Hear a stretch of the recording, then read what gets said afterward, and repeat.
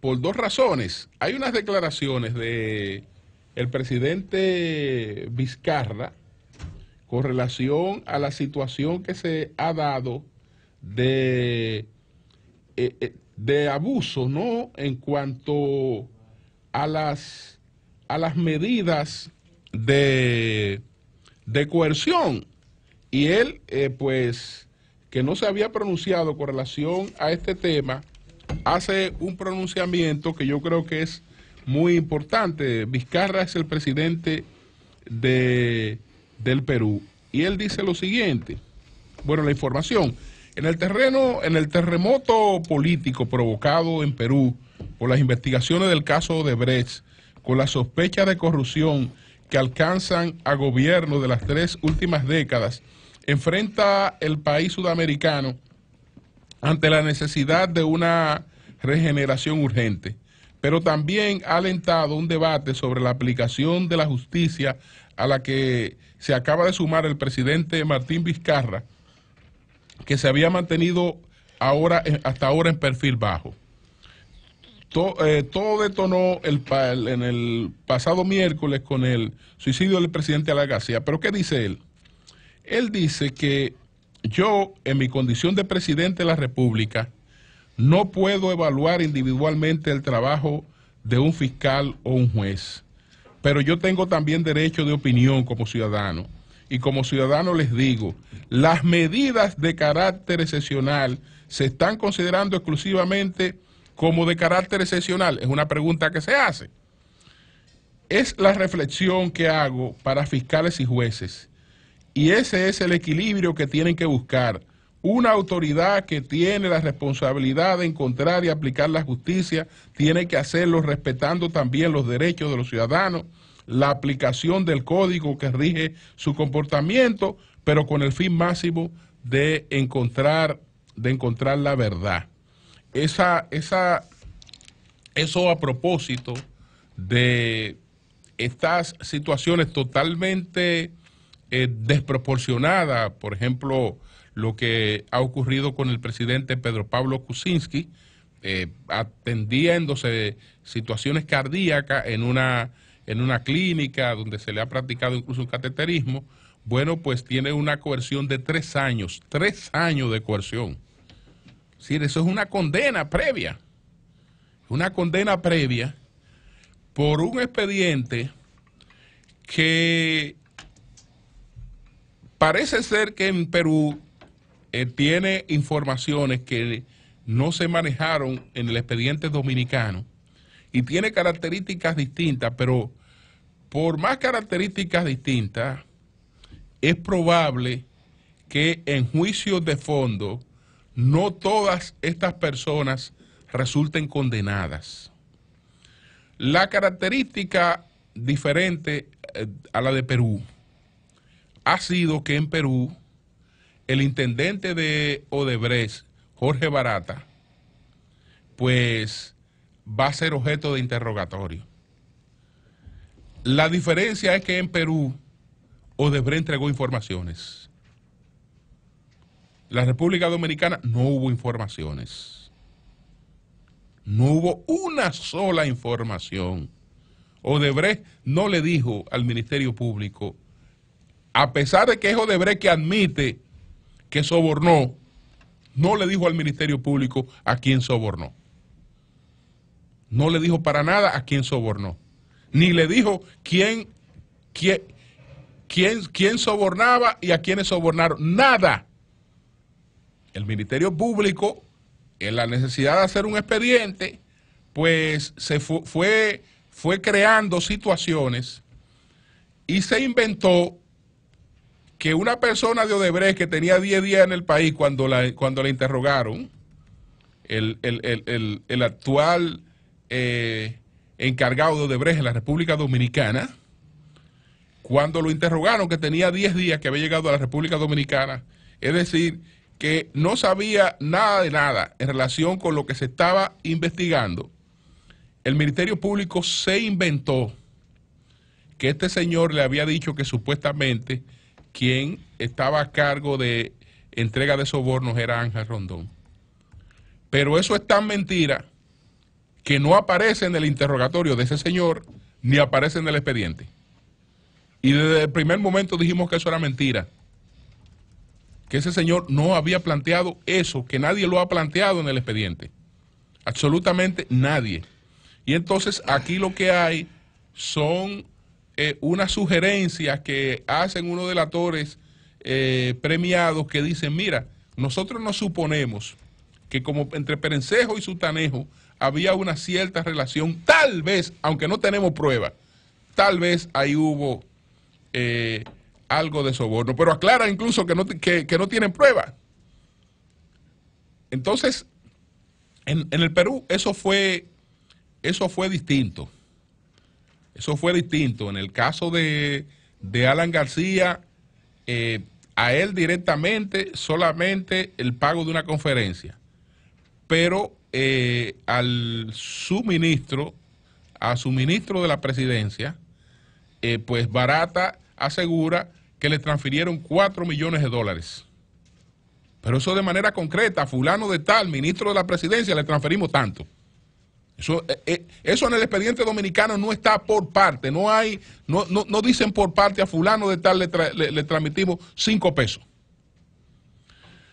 Entonces hay esas diferencias, pero a pesar de esas diferencias, ya hay cosas que en juicio de fondo son distintas y que tendrían que probarse. Entonces, no es posible que una gente previamente, en una fase previa de un proceso que es de una investigación, padezca una condena de tres años. Y mucho menos si esa persona está eh, con 80 años de edad.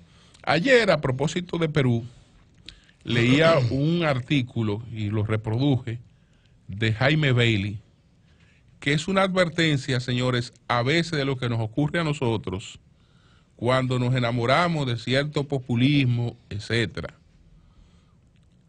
Porque lo que Bailey revela aquí, lo que Bailey revela aquí, eh, pues establece que Alan García fue escogido como presidente de Perú por primera vez, ignorando los peruanos, ignorando los peruanos, que él tenía serios problemas eh, eh, de su salud mental. Es decir, que se escogió a una persona con insanía mental, eh, pero, pero demostrada, probada, que porque el, el elector lo desconocía, incluso él le llegó a preguntar, al tener todas las informaciones de la clínica donde él se había tratado en varias oportunidades, eh, de, depresión, de problemas. Bueno, vamos a ver parte de lo que dice, de lo que dice eh, Jaime Bailey, que cuenta aquí toda su, su, su, historia con, con Alex García, que eh, fue una historia ahí de amor y de, y de odio. Conocí a Alan García en 1984. Era diputado y candidato presidencial. Tenía apenas 35 años. Yo tenía un programa de televisión, se llamaba Conexiones. Pertenecía a una generación posterior a la de Alan. Contaba con 19 años. Lo entrevisté en una, en una convención de empresarios Quedé impresionado por su inteligencia, su elocuencia y su simpatía. Era un mago de las palabras, un hipnotizador. Había nacido para seducir. No había quien resistiera a sus encantos. Parecía imbatible. Lo era. Poco después volví a entrevistarlo en su casa. Vivía en una torre moderna en la avenida eh, Pardo de Miraflores. Conocí a su esposa Pilar argentina, cordobesa, hija de un gobernador de Córdoba.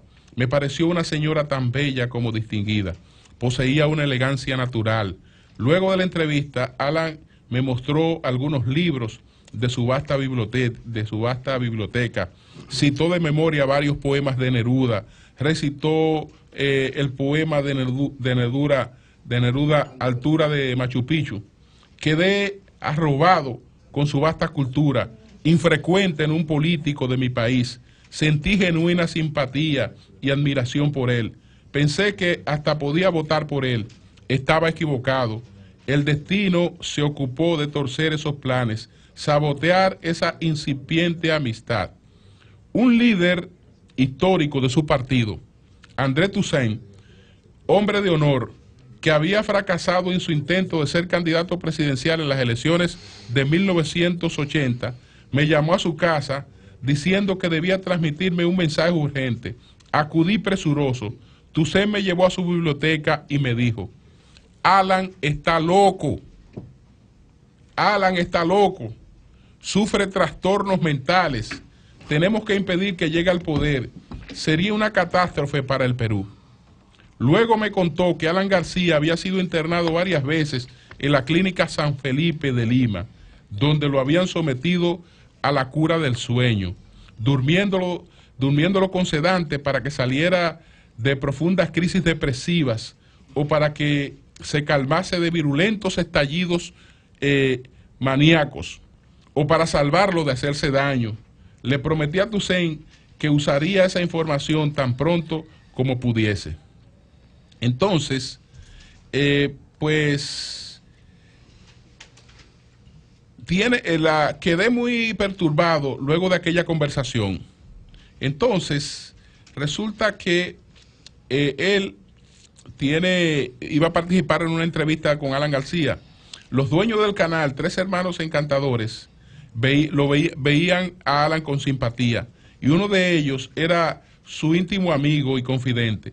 Yo sabía que si le hacía esa pregunta a Alan, estaría en problemas. Sin embargo, eh, sentía mi misión, que era informar. Y bueno, en definitiva, le hizo la pregunta, le hizo la pregunta de si él había estado en tratamiento por problemas mentales. Alan consideró que la pregunta era eh, un irrespeto, etcétera. No la respondió, pero resulta que todas esas cosas están comprobadas y estamos hablando desde antes de eh, ser electo como presidente de la República. Entonces, eh, no, es el único caso, desde luego. No es el único caso. Porque eh, ustedes saben que, bueno, a Maduro lo que le falta es tirar piedra. Maduro en cualquier momento fuga. Sino, y López Obrador ni se diga. Entonces, bueno, pero en este caso estamos hablando de una cosa que estaba ya eh, comprobada. Y una persona que estuvo bajo tratamiento y fíjense cómo una de esas crisis depresivas realmente lo llevó a terminar como, como, como llevó, porque él también eh, tenía un, unas ínfulas de grandeza, etcétera, que la veía arruinada con la investigación a la que había estado, a la que había estado eh, sometido. Entonces, aunque hay una situación con el juez Ortega, una situación con el juez Ortega, y es que ayer de nuevo fue recusado por séptima vez. Esta vez lo hizo Conra Pitaluga, el abogado Conra Pitaluga, porque el teléfono del hijo de Conra Pitaluga Aníbal, Conra Manuel Pitaluga Vicioso, fue intervenido.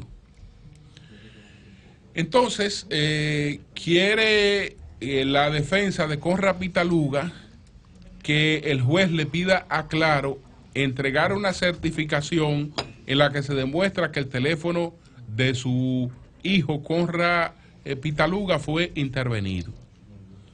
El juez consideró innecesario esto y por eso está siendo recusado. El Ministerio Público admite que se intervino el teléfono de Conra Manuel Pitaluga Vicioso y dice que no lo hizo en la condición de abogado que él es de su padre, sino que la hizo en la condición de hijo, de pariente cercano. Eh, bueno, en, este caso esa no es, no es una situación que pueda compararse con la situación, por ejemplo, de Miriam Germán, porque ciertamente cuando se está investigando a una persona y se está hablando de, lavado de activos, y se está hablando de una serie de cosas, pues eh, eh, lo natural es también que las personas cercanas a esa persona sean objeto de una, de una investigación, lo que eso no se puede hacer de manera ilegal. Se supone que eh, eso debió contar con la autorización del juez que estaba a cargo de esa, de esa investigación. El PRD, el PRD creo que está desarrollando, ha decidido una estrategia muy correcta.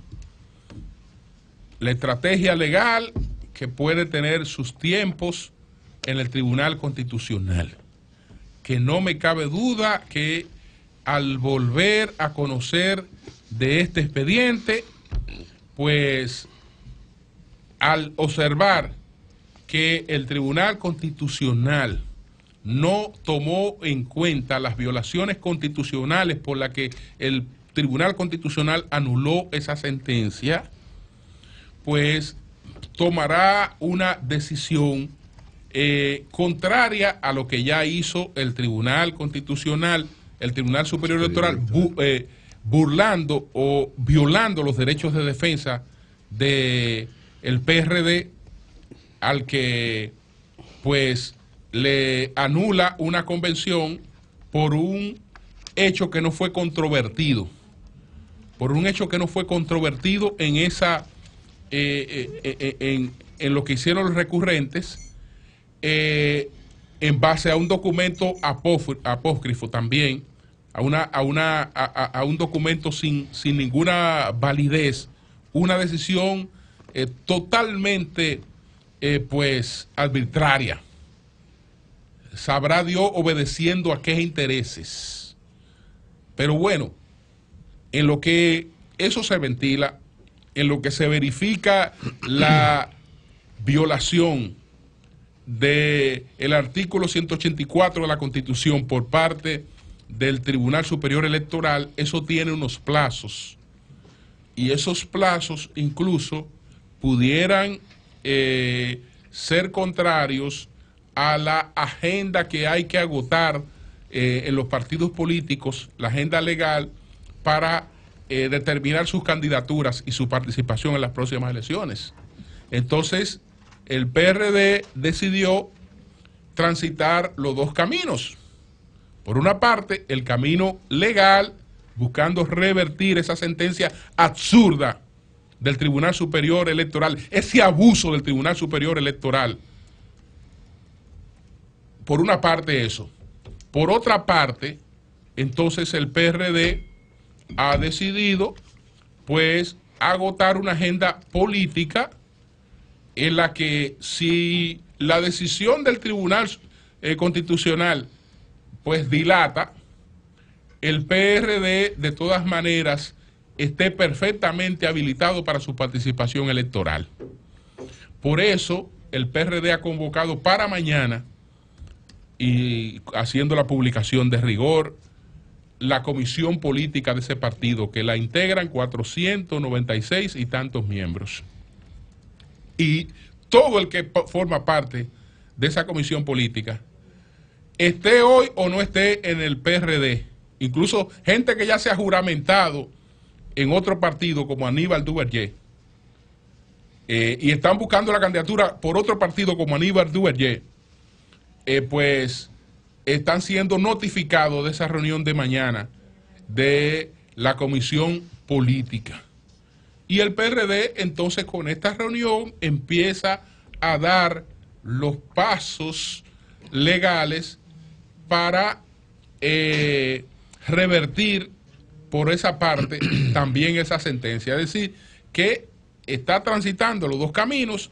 Si el lado del Tribunal Constitucional como tiene que hacer, se toma su tiempo y eso pudiera impedir la participación electoral del PRD, entonces el PRD no puede sentarse a esperar la decisión del Tribunal Constitucional y tiene que accionar en eh, realizar su convención, hacer todo lo que tenga que hacer, eh, siguiendo todos los pasos que la ley indica para hacerlo. Por eso, en el día de hoy, eh, una comisión del PRD va a la Junta Central Electoral a pedirle la verificación del quórum en el día de mañana. Que, estén presentes para la verificación del quórum. De todas maneras, ellos se cuidarán de notarizar eh, esa, esa presencia de quórum y esa convocatoria se hace en base a la membresía que está registrada en la Junta de la Comisión Política y en base a la propia membresía en la que la sentencia del Tribunal Superior Electoral dice que supuestamente no había quórum. De manera que creo que es correcto esa decisión que ha tomado el PRD de ir por los dos caminos, los dos caminos, el legal y el político legal, para evitar que los que quisieron inhabilitarlo, que fue el, objetivo, que es lo que está detrás de, ese, de esa arbitrariedad del Tribunal Superior Electoral, eso es lo que está detrás, ese interés, porque aquí nadie es inocente, nadie es inocente. Y todo el mundo sabe lo que hace y, y con quién se alía a la hora de buscar ciertos propósitos, entonces, para que los que están buscando ese objetivo realmente no van a lograr ese objetivo. Cambio y fuera.